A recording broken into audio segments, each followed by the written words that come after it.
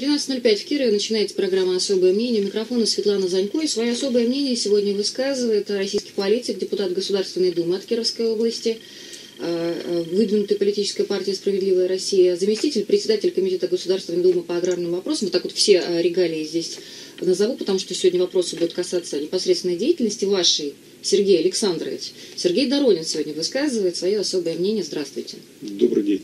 Начнем мы э, с громкого достаточно э, сообщения, практически вот дело, которое раскручивалось с начала недели с подачи э, газеты «Коммерсант», уважаемый, который пишет о том, что глава Сбербанка Греф подписал письмо, направленное в Государственную Думу на имя секретаря, на имя Сергея Нарышкина и одновременно в Генпрокуратуру, в которой просит принять во внимание информацию о зампреде Думского комитета по аграрным вопросам Сергею Доронину. И дальше э, разбирается ситуация с э, группой компании «Абсолют Агро». И э, вы здесь упоминаетесь как человек, как под гарантией которого были взяты крупные суммы у Сбербанка и которые не возвращены. Греф, если это был Греф, требует разобраться. Справедливости ряде хочу сказать, что я не нашла в интернете выкладки письма конкретного там, да, и вы мне тоже не принесли это письмо. И комментарий Грефа что-то я тоже не нашла, но, возможно, они появятся, потому что буквально 29 числа эта э, новость прошла. Далее мы видим, что эта новость прошла и в наших СМИ, и, естественно, вы человек, который близок к нашей земле. И дальше я вижу, что прошли э, комментарии Государственной Думы. Государственная Дума открестилась от того, чтобы рассматривать э, вопросы э, взаимоотношений банка и конкретного человека, то есть вас, и не считает, что это вопрос, который нужно брать, например, на комитет по этике. Эта информация тоже есть, в частности, информационное агентство ТАСС э, в заметке в материале в Госдуме прокомментировали данные СМИ о претензиях Сбербанка к депутату Доронину от того же 29 февраля, об этом пишут. Что происходит? Ну, вот, Светлана, вы э, действительно как бы все правильно зачитали, и я понимаю, для чего появилась э, данная статья в газете «Коммерсант». Я, в принципе, понимаю, сколько это стоит. Появилась она по одной простой причине, для того, чтобы вот точно так же э, могли цитировать данную статью, как вы дел, сделали только что, буквально 30 секунд назад, да, на протяжении полутора минут, перечитывая совершенно нелепые какие-то фразы, предложения. Э, я считаю, что в этом письме нелепо все от начала до конца.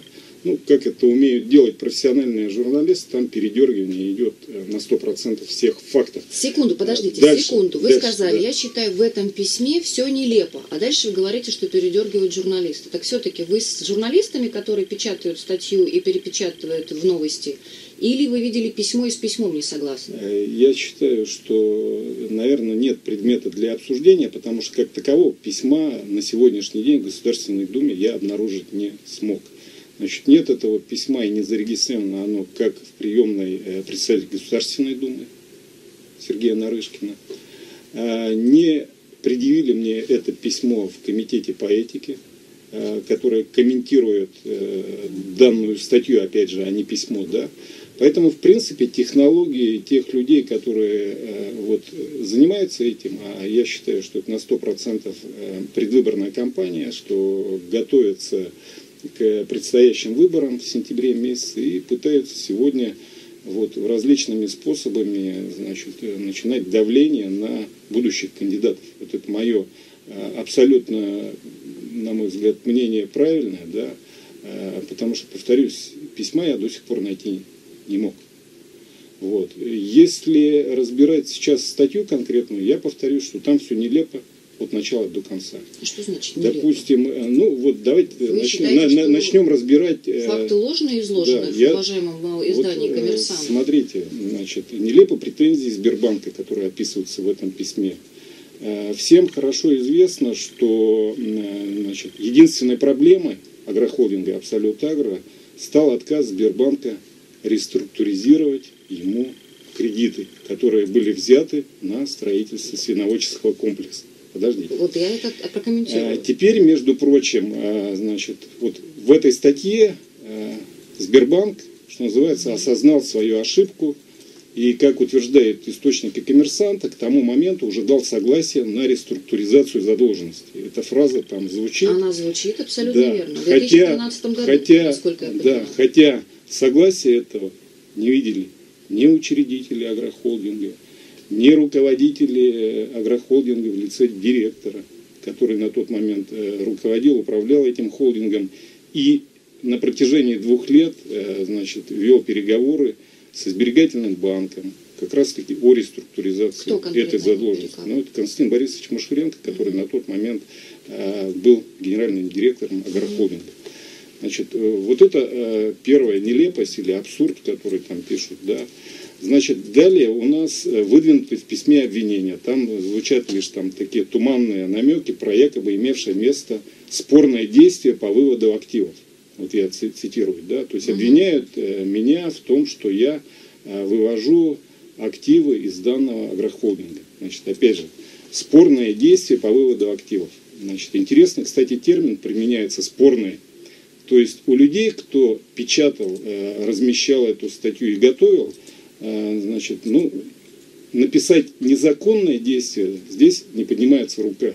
Потому что понятно, что ну, последуют некие действия там, ну, со стороны... это утверждение, Да, конечно, да, то есть спорные действия. Ну, вот, вот, и по сути э, вся статья, вот она в такой риторике написана, достаточно сложно. Э, значит, предъявить претензии, там, пойти в суд, хотя, в принципе, наверное, это делать необходимо для того, чтобы бить по рукам тем, кто вот готовит такие подметные газеты или подметные статьи. Вообще это И размещают, в принципе, понятные расценки на эти статьи. Мы Сколько они стоят? с газетой «Коммерсант», э, в принципе, общались, и, так скажем, я оцениваю стоимость этой статьи примерно от 30 до 50 тысяч долларов. А вы намерены, вот вы говорите, нужно пойти в суд, вы намерены от газеты «Коммерсант» потребовать объяснений, на каком основании они изложили факты вы понимаете, без подтверждения, ну, если вы говорите, что их нет? Естественно. Я думаю, что мы будем этим заниматься, да, но я понимаю э, значит, желание оппонентов, которые размещают эти статьи, и, в принципе, мне понятно, кто это делает, да, я думаю, что лучше бы эти люди потратили деньги свои на какие-то проекты социальные, да, которые бы, наверное, помогли им в будущем там, в предвыборной кампании, э, ну, не знаю, там различный спектр, э, наверное, возможностей, на такие деньги можно и форму хоккейную дарить, можно и семена для садоводов это покупать понятно, Сергей и так далее и тому подобное. Это все политическая да, борьба, да, ясно. Однако да. с Абсолют Агро действительно серьезная проблема, и а, об этой проблеме говорили на протяжении всех этих лет все наши СМИ абсолютно. И я об этой проблеме говорил у вас неоднократно в этой студии и говорил о том, что а, и учредители бывшие предприятия, и конкурсные управляющие сегодня ведут работу а по сохранению агрохолдинга, а он уже на протяжении двух с половиной лет пока находится в процедуре банкротства и э, значит, э, ищет активно инвесторов для того, чтобы продолжить вот то начинание, то, что было сделано с 2006 по 2013 год база для дальнейшего развития предприятия, она существует, она сильная, предприятие достаточно крепко стоит на ногах. Э, значит, на сегодняшний день идут переговоры с потенциальным инвестором с кем конкретно? по приобретению данных активов. Я надеюсь, что мы в ближайшее время эту информацию раскроем. Значит, я в этом принимаю активное участие, несмотря на то, что в газете написано, что я э, нарушаю значит, э, свою депутатскую этику и занимаюсь там бизнесом, да, я никогда не отказывал ни одному сельхозпредприятию Кировской области в, в решении тех или иных проблем. Э, значит, на приемы ко мне, как депутату Государственной Думы, приходят постоянно фермеры, значит, частные предприниматели, которые занимаются сельским хозяйством и я как зампред комитета и как представитель э, вообще избранный от Кировской области вникаю это в понятно. каждую проблему. Это все, Поэтому это... по агрохолдингу я точно так же занимаюсь э, вот, существующими сегодня проблемами угу. в части нахождения потенциально сильного инвестора, и вхождение его как раз-таки в учредители. Сергей Александрович, да. смотрите, вот сегодня у нас э, какое марта? 3 марта. Написано было все это 29 числа. Неужели за несколько дней нельзя было запросить у Генеральной прокуратуры и там официально, например, запросить у Генеральной э, прокуратуры, поступило ли такое письмо, и у ваших комитетов тоже официально запросить у госдумовских, чтобы они написали, что нет, письма не было. А вообще это 4 дня, это очень странно. Подождите. Что вы, зная, что Подождите, письма под- нет, под- не под- запросили под- официальный подождите, запрос. э, вот для того, чтобы э, там, э, уточнить или там, узнать информацию, или получить информацию, нет необходимости мне как депутату там, писать в комитет какой-то. Мгм. Я это сделаю, напишу, обязательно получу ответ, э, значит, э, сразу же, буквально там, на следующий день. Были сделаны звонки моим помощникам в комитет по этике, но я не думаю, что вот между там, депутатами идут какие-то вещи, там непонятно, кто-то скрывает. Значит, на сегодняшний день, я вам еще раз повторю, Официально. есть информация о том, что не у Сергея Нарышкина в аппарате, не в комитете по этике вот, данного письма от Германа Оскаровича Грефа не получено.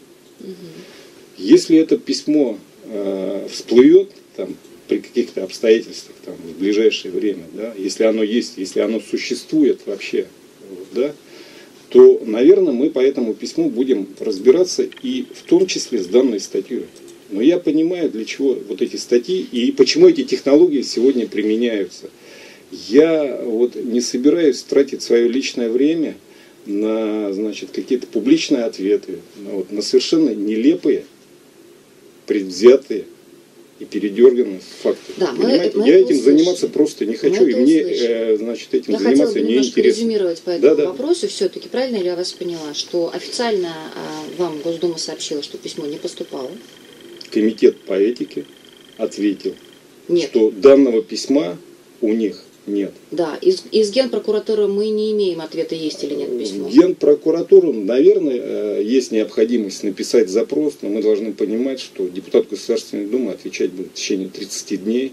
Значит, э, ну, наверное, можно такой запрос сделать, Мгм. хотя я не вижу смысла И э, однако- в этом запросе. Если, значит, в Генпрокуратуру поступило данное письмо, да, и Генпрокуратура посчитает нужным, э, значит, там, заводить уголовные дела, там, проводить там какие-то дознания, расследования, ну, Ну, то есть вы еще не решили? нет, Запрашивать подождите, ради бога, я этот процесс остановить не смогу. Мгм. Никоим образом, Понятно, являясь она будет депутатом. решать. Э, Я хочу сказать о том, что вот, э, начиная с 2013 года э, в агрохолдинге Абсолют Агро проводилось несколько проверок отделом по борьбе экономических преступлений, значит, э, Следственным комитетом, э, прокуратурой. То есть они туда приходили, сберегательный банк неоднократно, и вот опять же подтверждая э, то абсурдность тех заявлений, что выводятся активы, сберегательный банк с, достой, с достойной такой периодичностью, там раз в квартал высылает своих представителей на то, чтобы они могли посмотреть, посчитать, проверить наличие того или иного оборудования, Да. зданий там, и так далее и тому подобное. Этот процесс идет постоянно.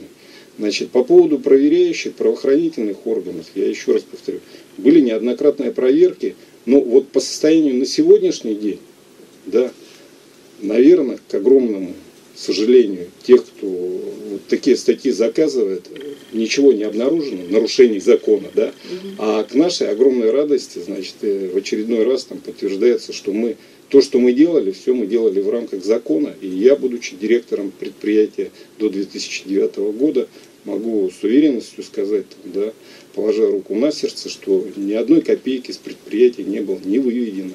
Вот все, что построено, все это на сегодняшний день функционирует, работает, идет воспроизводство стада, получается молоко, значит, свинокомплекс работает. Единственное, есть проблема недоговоренности вот, до сегодняшнего дня со Сбербанком о реструктуризации задолженности. Несмотря на заявление. Ситуация такая, я вам скажу, как зампред комитета по сельскому хозяйству существует сегодня у одной трети сельскохозяйственных предприятий Подобная России. Да. На сегодняшний день 2 триллиона рублей задолженность, кредиторская задолженность. Примерно половина этих денег – это проблемные долги. То есть около 1 триллиона рублей на сегодняшний день испытывают проблемы по выплате или погашению кредитов перед банками Э, значит, различные формы собственности сельхозпредприятий, там, крестьянско-фермерские хозяйства, крупные агрохолдинги и так далее и тому подобное. Более того, я могу сказать, что Россельхозбанк сегодня из 100% кредитного портфеля, который они выдали сельхозпредприятий, порядка 40% это проблемные активы. То есть ситуация сегодня такая, не только в агрохолдинге абсолютно агро, но она практически по всей стране, несмотря на то, что нас э, победными реляциями там в газетах, в статьях пытаются усыпить или там сказать, что все у нас великолепно, идет у нас импортозамещение, да, и так далее и тому подобное. Я могу сказать, обладая достаточно большим объемом информации, что э, это совершенно не соответствует действительности. Э, я больше скажу, что я как зампред комитета как раз таки курирую этот вопрос по проблемным э, долгам, по долгам, которые сегодня существуют у сельскохозяйственного комплекса. Какое на интересное этих, совпадение. Да, на этих совещаниях, на этих совещаниях постоянно присутствуют представители Россельхозбанка, Сбербанка, значит, Газпромбанка, Веба, ВТБ и так далее и тому подобное. И есть на сегодняшний день озабоченность, что отрасль сельскохозяйственная перекредитована. Поэтому... я, вы, как, вы как зампред да? соответствующего профильного комитета в Госдуме, вы как человек, который занимается сельским хозяйством, как депутат Госдумы, все-таки, вы простите, давайте закончим то, о чем я спрашивала. Давайте. Неужели у вас вот не возникло желания поднять трубку и позвонить Грифу и спросить? Вы понимаете, вот э, если треть отрасли да, вот так перекредитована, подождите, ну, как во-первых, э, я не думаю, Не может что... быть, чтобы Герман Греф участвовал в простой политической игре. Вот смотрите. Судя по его высказыванию, человек не тот. Смотрите, во-первых, я хочу сказать, что э, в плане проблемных активов у сберегательного банка более-менее ситуация в порядке, потому что из всего кредитного портфеля сельскохозяйственному комплексу они вообще выделили мизер. У нас основную нагрузку по э, реализации национального проекта развития АПК на сегодняшний день несет Россельхозбанк. Э, доля кредитов, выданных сельхозпредприятий, там а, она, конечно, в разы больше, нежели в сберегательном банке. Все-таки сберегательный банк э, это кредитная организация, которая старается кредитовать ну, э, такой серьезный э, бизнес монополистов э, кредитуют они металлургические комбинаты, кредитуют они нефтяную отрасль и так далее и тому подобное. Вот в портфеле кредитном, э, кредитов сельхоз отрасли у Сбербанка меньше. Поэтому они, в принципе, чувствуют себя более-менее по отношению с Россельхозбанком, и поэтому по отношению к своим должникам они вот ведут такую политику, они не договариваются, э, понимаете, они не хотят э, вести переговоры по реструктуризации задолженности, потому что, э, создав прецедент, они понимают, что все сельхозпредприятия или многие сельхозпредприятия начнут ходить и заниматься значит, реструктуризацией задолженности. Так правильно я поняла, а... что ответки публичной а, коммерсанту не будет? Да вы поймите, вот те, кто размещал эту статью, они ждут моей публичной ответки, чтобы я начинал расписываться, чтобы я начинал оправдываться. Я не хочу оправдываться за свои деятельность и за свои значит, действия. Я угу. считаю, что мы идем правильным путем. Я считаю, что в конечном итоге мы найдем достойных инвесторов, которые будут э, не уничтожать предприятие, а вот на созданной базе, которую создали мы на протяжении э, 8 лет, будут приумножать и развивать данное предприятие. Поэтому вот в этом отношении у нас совершенно разные подходы со сберегательным банком. У сберегательного банка задача стоит э, зайти на предприятие, в смысле зайти, забрать? Ну, вот смотрите, зайти на предприятие, обанкротить его и продать э, частями, допустим, там э, стадо продать, э, продать технику, продать и, ну, по сути своей, уничтожить предприятие. А разве сейчас у Абсолют Агро не банкротится? У нас же совершенно, ну, вот еще раз, для вас я хочу небольшой ликбез. Вы понимаете, что да процедура банкротства, она дает возможность сегодня предприятию заниматься производственной деятельностью. То есть идет процедура это банкротства, нормальная, предприятие работает. Это нормальная общемировая практика в момент введения процедуры банкротства.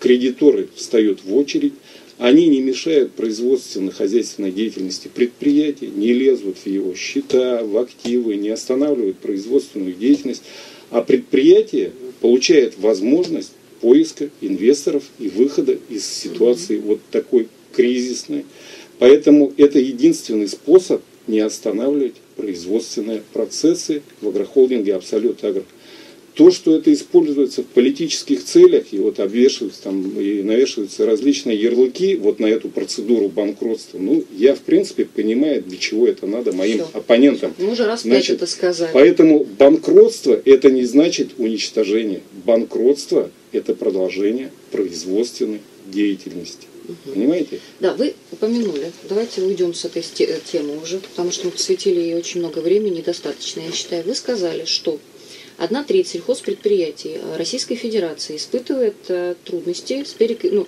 с кредитами, да? А, соответственно, банки их тоже, получается, закредитовали, и, и получается, это сложные кредиты, которые вернуть невозможно. Это одна сторона вопроса. Вторая сторона вопроса. Сельское хозяйство, а, то, что декларировалось последние два года с введением санкций, получило а, там, карт-бланш в связи с импортозамещением к мощному развитию. И вы сами мне рассказывали в прошлом году, так спокойно достаточно у вас была риторика по поводу сельского хозяйства, в отличие от э, прошлых лет, что да, действительно, в этом-то году как-то получше, в 15-м я имею в виду, что-то вроде двигается, и да, вроде получше. Сейчас же вы говорите, что ситуация не такая хорошая, а, какой хотелось бы быть. Вот так в каком состоянии сейчас наше сельское хозяйство и как на его развитие скажется антикризисный план, подписанный 5 марта – котором а, Дмитрий Анатольевич Медведев заявил, что в числе мероприятий а, есть мероприятия, так называемые меры оперативного реагирования, и их цель поддержка тех секторов экономики, которые хотя бы, хотя и испытывают сегодня значительные, а, значительные трудности, но имеют значительный потенциал, в том числе и сельское хозяйство и сельхозмашиностроение. Вот такая фраза интересная. Тоже она такая мне ничего не говорящее. Но я антикризисный план не читала и, честно говоря, э, читать не буду, поэтому обращаюсь к специалистам. В части сельского хозяйства, что, обознач... Э, что сейчас имеет в виду э, Дмитрий Анатольевич Медведев и антикризисный план правительства? Ну, вот смотрите, Светлана, да, если прокомментировать мои высказывания о том, что сельскому хозяйству стало действительно полегче и попроще, да, и появились какие-то перспективы. Но вы говорили об этом Да, я не году. отрицаю. В 2015 году весной как раз мы с вами здесь на эту тему разговаривали перед посевной. Я помню в тот момент как раз а, значит, э, евро и доллар а, достигли своего минимума. Там, я помню, что евро стоил вроде бы около 55 рублей, там доллар за 50 рублей. Да? Да, и вроде бы, страшно, что не и, дай бог 70. Нет, и, и вроде бы mm-hmm. появились надежды в связи с тем, что выделили денег побольше, да, Э, на сельскохозяйственную отрасль по сравнению с 2014 годом, что есть какие-то определенные перспективы. Да? Но, к сожалению, эти иллюзии, э, значит, они улетели э, буквально уже к, посе... к уборочной, да, когда у нас опять началась там дикая волатильность валюты, а ни для кого не секрет, что и сельскохозяйственная отрасль в том числе, она достаточно серьезно зависит от стоимости доллара. Почему? Значит, ну, во-первых, Машины. очень большое количество или большой процент сельскохозяйственной техники за эти годы был куплен или приобретен сельскохозяйственными комплексами импортных. Да. И их это, нужно обслуживать. Это и американские, это и немецкие, это и бельгийские mm-hmm. трактора, комбайны и так далее и тому подобное. И стоимость исчисляется тех же запасных частей на сегодняшний день как бы в евро, да, и рост цен он как бы дает о себе знать и в себестоимости. Да.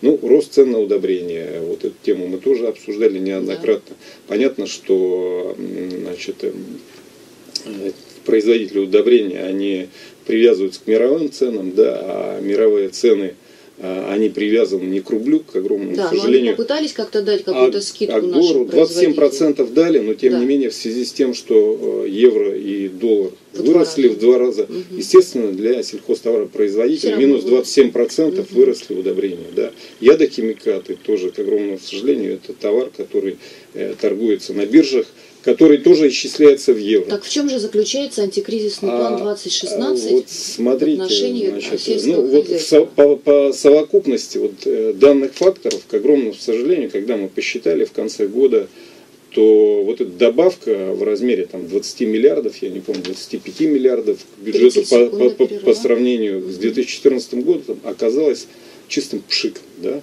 Если мы говорим с вами о бюджете на 2016 год, действительно там тоже добавили, но если говорить и привязывать его к абсолютным цифрам, э, а страна наша сама привязывается к доллару и к евро, mm-hmm. то эти деньги э, меньше, нежели были выделены в 2015 году. 10 секунд. Что в антикризисном плане вот. по поводу э, Сейчас мы переходим к антикризисному плану. Вот это объемный документ. э, Тогда мы после перерыва 144, да, перейдем. У нас давайте, сейчас перерыв, да. у нас три вопроса. Я буду держать жесткий тайминг тогда, Сергей Александрович. Продолжается особое мнение. У микрофона Светлана Занько и свое особое мнение высказывает Сергей Доронин, э, депутат Государственной Думы от Кировской области. А, Так, Сергей Александрович, две минуты не больше, а лучше полторы, тезисно. Что касается антикризисного плана 2016, который был принят 1 марта в отношении сельского хозяйства. Ну, знаете, для сельского хозяйства там э, на сегодняшний день не выделено ни копейки. Значит, э, комментарии к, к антикризисному плану говорят о том, что он будет пересматриваться по итогам полугодия 2016 года. Две основные статьи, которые занимают ну, там, 90% э, расходов антикризисного плана, это первое, предоставление бюджетных кредитов бюджетам России, субъектов э, Российской Федерации 310 миллиардов. Но я считаю это хорошо, потому что 2,3 триллиона на сегодняшний день долги субъектов перед э, бюджетом Российской Федерации и перекредитоваться необходимо, иначе бюджеты у нас все просто подсядут и ну, будут кассовые разрывы и будут проблемы и с выплатами заработной платы и так далее и тому подобное.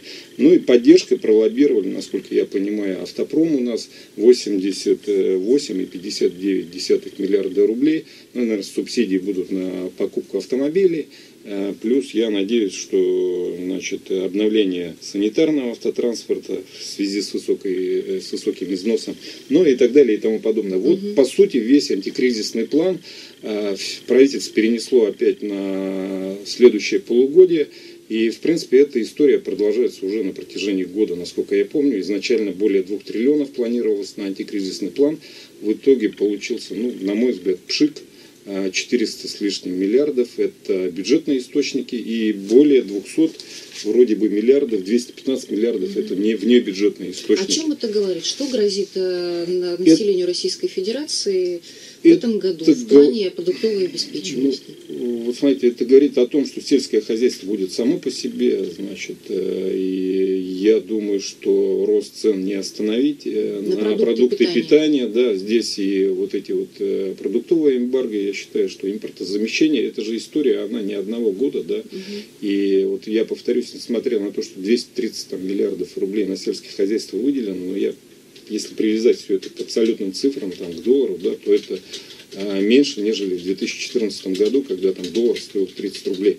А, Поэтому сложности и проблемы будут, э, но несмотря на это сельское хозяйство вот, э, оно будет продолжать куда-то двигаться там. э, Будет закрываться сельскохозяйственное предприятие, или они будут тихонечко так Знаете, это процесс, выживать? он идет, он Или, идет. или как-то будет, как-то, я не Нет, знаю, может быть, э, одни будут смотрите, наоборот резкий рывок вот вперед, а очень крупные закроются. сельскохозяйственные комплексы, крупные, мега там, да, агрохолдинги, они будут развиваться, потому что у них есть доступ к финансовым ресурсам. а, Значит, э, ну, вот такой индикатор, там, компания Мираторг, которая является одной из самых крупной по производству свинины, говядины, Значит, в самый момент, в пик кризиса правительство или ВЭП выделило там около полумиллиарда долларов э, валютного кредита, но это как бы о чем-то говорит, да? А, а наши холдинги, они не такие мега? вот, вот как раз я говорю, а Мираторг, ну это, это мега, Я это про- мега. я про нет, кировские местную. холдинги, нет такого уровня холдингов, Не как, такого как в. Краснодарском, Ставропольском крае. Ну и плюс сельхозпредприятия, которые находятся в близости от э, портов черноморских, э, значит, и которые сегодня на экспорт продают пшеницу. А в прошлом году 20 э, миллионов э, тонн мы продали э, центнеров, вернее, продали мы э, за пределы Российской Федерации, они тоже будут получать прибыли, и я думаю, что в этом плане у них все в порядке. Весь остальной э, агробизнес, там это и север, это и центральная часть России, это и Сибирь, э, это и Дальний Восток, я думаю, что будут испытывать э, ну, достаточно серьезные проблемы в связи с невозможностью получения дешевых э, денежных средств. Точка. Давайте еще посмотрим на э, то, как идет сбор подписей, который объявила «Справедливая Россия» 10 февраля. Я напомню, что партия э, эсеров объявила о начале всенародной акции о сборе 10 миллионов подписей за отмену платы за капитальный ремонт, транспортного налога, налога на земельные участки площадью до 8 соток. Ну, уже было в новостях, и уже говорили о том, что а, по оплате за капитальный ремонт есть некоторые подвижки в отношении некоторых категорий граждан. Да? Скидки там а, возрастным гражданам есть и так далее. А что сейчас вот с этим сбором подписей и к чему вы дело ведете? Ну, смотрите, законодательное собрание действительно в феврале месяце приняло закон об освобождении от уплаты э, за капитальный угу. ремонт э, граждан э, старше 70 лет на 50%, значит, старше 80 на 100%, там применяются определенные нормативы на человека. ну, такой интересный, на мой взгляд, закон Э, был принят, но с оговоркой, что финансирование под него начнется там, с 1 июля да, 2016 года. В случае, если правительство изыщет э, финансовые средства. Значит, это уже хорошо, это подвижка в сторону как раз-таки того, о чем говорит «Справедливая Россия» на протяжении уже более года.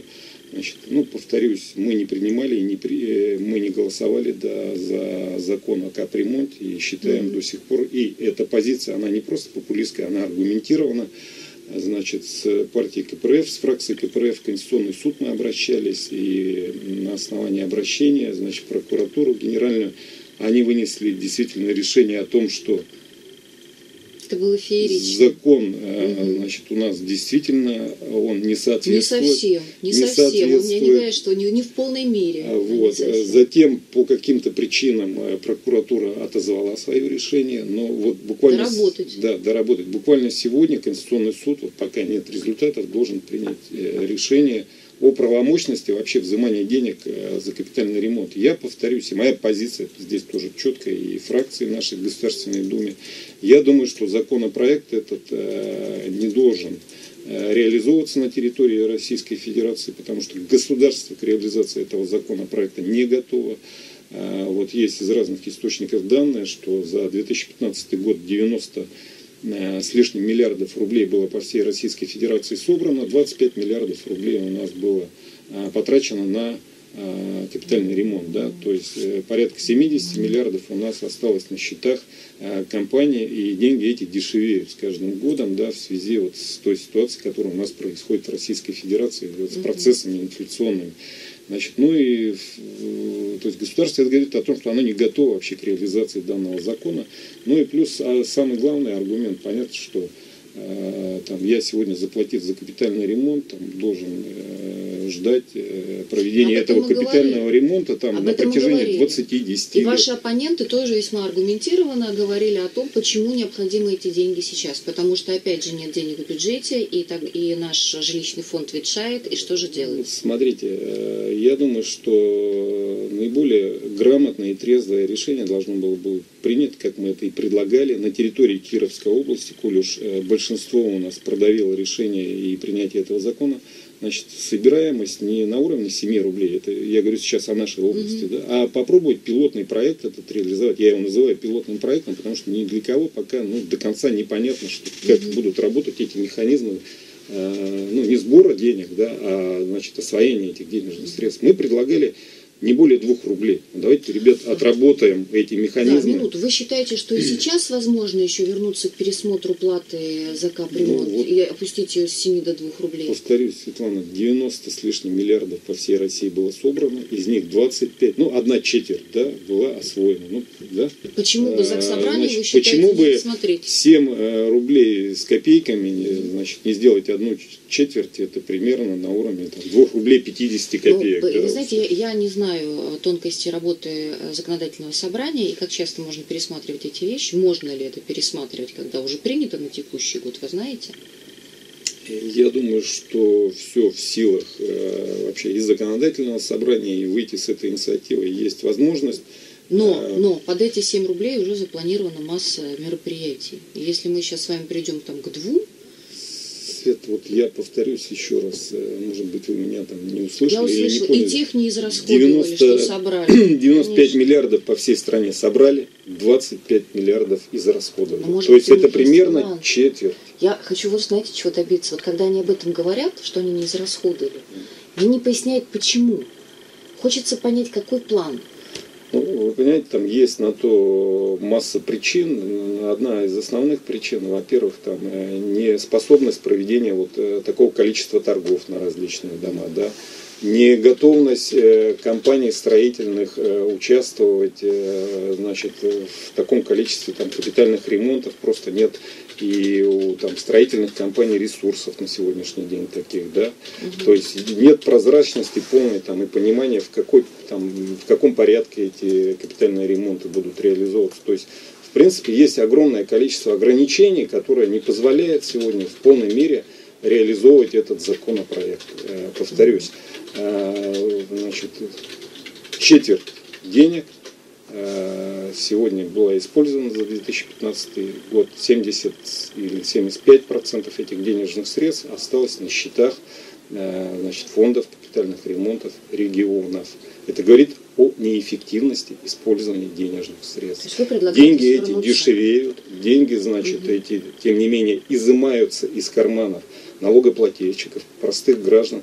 Эти деньги могли бы э, налогоплательщики или простые граждане там, Кировской области, Московской области, я считаю, что эффективно потратить на собственные нужды. Пойти в магазин, э, да. купить сельскохозяйственную продукцию, помочь сельскохозяйственной отрасли в реализации сельхозпродукции. Момент, вот Я считаю, необходимо продолжать давление на правительство и пытаться приостановить, приостановить и региональное, и, и федеральное, приостановить действие данного закона на территории Российской Федерации, как мы это и предлагаем сделать до, 2000, до 2021 года. 2021 года. 2021 года. На 5 лет приостановить. Это требование а, значит, сегодня фракции «Справедливая Россия» озвучено. Мы начали акцию по сбору подписей, потому что, на наш взгляд, достаточно эффективно сработала акция в прошлом году, в 2015 году. Мы миллион подписей собрали и э, значит, на грузовиках отвезли в Белый дом. А, а значит, сдали это все Дмитрию Анатольевичу Медведеву. И вот после этого появилась подвижка о значит, принятии закона об освобождении от уплаты капитального за капитальный ремонт граждан старше 70 и 80 лет. Вот 10 февраля вы объявили о сборе подписей, а да. на данный момент их сколько? А, ну, на сегодняшний день собрано несколько тысяч подписей. Угу. Задача у нас, мы перед собой ставим вот в Кировской области, собрать порядка 150 тысяч подписей. И процедура эта началась. Я Какой думаю, дате? Что, а, я думаю, что мы к концу года 2016 года. Вот э, с этой задачей справимся. И э, в принципе я активность То людей. Год будете я, да, я активность людей вижу, и к нам в офис партии на Октябрьский проспект 125 просто ежедневно там десятки э, людей. Э, приходят и подписываются под вот этим обращением Дмитрия Анатольевича Медведева. Там не только о капитальном ремонте да, говорится, да, там говорится о транспортном налоге, о котором мы с вами не успели да. Э, поговорить об отмене транспортного налога и о налоге на 8 соток, так называемых, на земельные участки, садоводческие или в сельхоз э, значит, да. местности тайм, к сожалению, время программы подошло к концу. Я надеюсь, что мы с вами поговорим как раз о транспортном налоге и о, и о восьми сотках, и о многих других проектах «Справедливой России». Благодарю Сергея Доронина за его особое мнение. Светлана Занько, прощаюсь с вами. До свидания. Спасибо.